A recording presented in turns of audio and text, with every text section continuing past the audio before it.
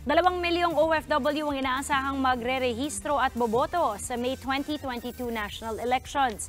Sa ngayon kasi nasa 1.3 million lang ng mga OFW ang aktibo sa pagboto. Planong magkaroon ng mobile registration ng COMELEC para maabot ang mas maraming ah, uh, OFW. Tatagal din ang overseas voter registration hanggang Setyembre ng susunod na taon.